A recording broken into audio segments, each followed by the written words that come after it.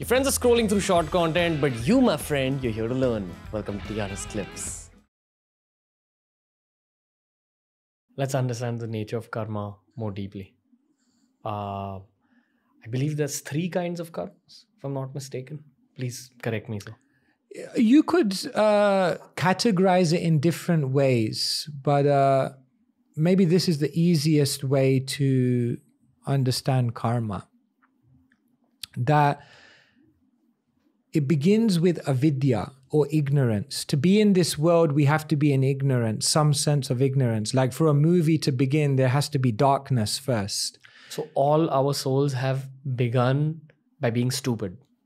Yeah. Otherwise, you couldn't be here in this material world unless you're sent from the spiritual world for a higher purpose. And I think it's important to acknowledge that there are higher souls as well who've chosen Exactly. Yes.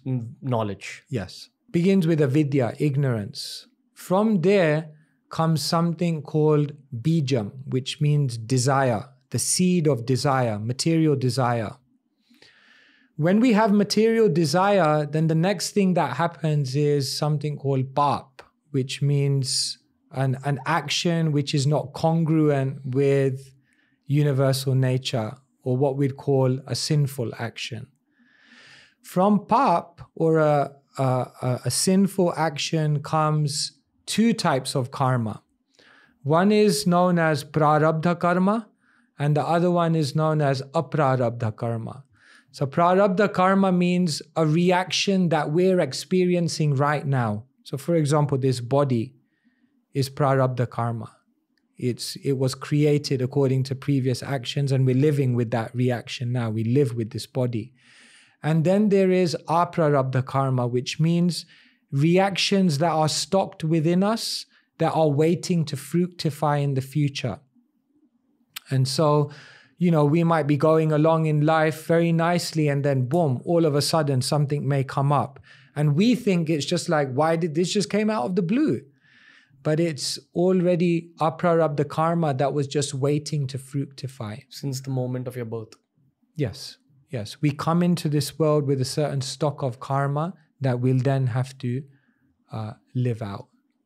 And the purpose of karma is educational. This is super important to understand.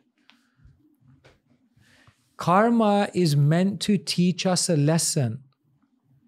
It's not that there is some divinity up there who just wants to strike down thunderbolts because we've been out of line but it's a compassionate divinity which wants to give us lessons through the experiences of what we call the school of hard knocks in order to ultimately elevate our consciousness and bring us out of ignorance. It's partially the reason that when you see shorts and reels with old people in them and they ask those old people about what your regrets are in life, what did you learn from life, they have immense clarity because they've been through the process of the karma of that life, learned so much. Through the which is why yeah. yeah. you should turn to old people for wisdom.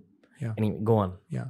They say there's three types of ways in which people learn.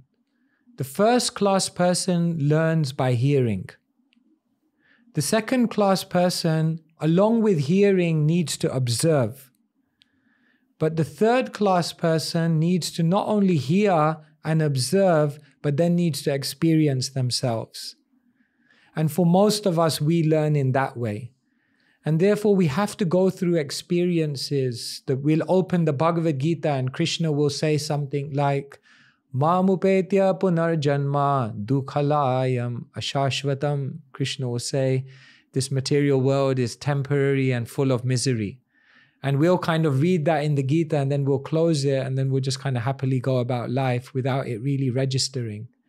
But then when we go through a karmic reaction and we experience that misery, then we go back to the Gita, we're like, yeah, this is true, you know?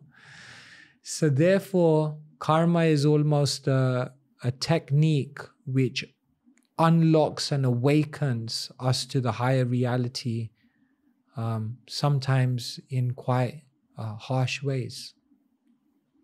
Because we have free will, can we hasten our karmas? Can we just pull that string quicker? It's kind of like saying if you're studying in the fifth grade, you study so hard that you don't graduate to the sixth grade, you graduate to the eighth grade. directly. Uh, but what is the equivalent of studying hard from a spiritual perspective? Is it deep meditation, deep prayer? And if you actually engage in those deep meditations and deep prayers, will intensely bad things happen to you early? Like as if all that prarabdha karma is hitting you in the form of a yeah. truck. Like, will something like this happen? I mean, maybe post that life will be easy, but you'll have to go through some immense pain. Yeah. Remember, karma is educational. So, if we've internalized the lessons that divinity wants to teach us through karma, in one sense, that karma has no more use because you've internalized the lesson. Oof. It's almost like, say, there's a prisoner and they do a crime and the sentence is 20 years in jail. But after 10 years, they interview the prisoner and they're kind of like, this is a reformed man. Then they may just say, let him out. So you can clean up certain karmas. Yes. Krishna says in the Bhagavad Gita, Sarva dharman parityaja mamekam saranam braja aham tvam sarva papebhyo moksha yishyami masucha.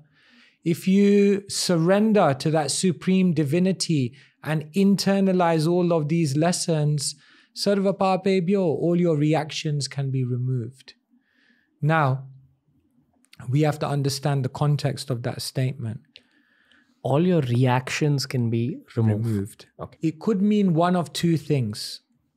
One is that certain bad things or difficult situations or uh, experiences which you are meant to encounter, they may just be cancelled out. There's no need for it to come. Or they may come to you, but what divinity will do is instill you with a strength and a resilience and an immunity, which means when it does come, it won't affect you in the same way. Some things we may have to live out even once we've understood the lessons. Just like in India, they have fans. So imagine you turn the switch off. But after you turn the switch off, still the fan will spin for some time because there's a bit of momentum left. So karma is like that. We have a certain amount of karmic reactions which are due to us. And even when we learn all the lessons and we internalize it, for some time, some karmic reactions may come, which is just clearing out the account. Okay. But what's the practical procedure to gain the knowledge?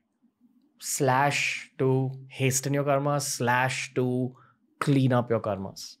I have understood through reading that deep meditation is one of the means. Am I right in thinking like that? Uh, what else? I think you- it's a combination of the three things you said before and the fourth thing that I added. Before you mentioned bhakti, vidya, sadhana, and then I added seva. so devotion, Devotion, knowledge, discipline, and service. through these acts, then what will happen is that removal of ignorance and that awakening of our innate spiritual consciousness will ultimately mean that we don't have to experience the karma anymore. So if you enjoyed this video, make sure you check out this playlist for more videos just like this. It's TRS Clips.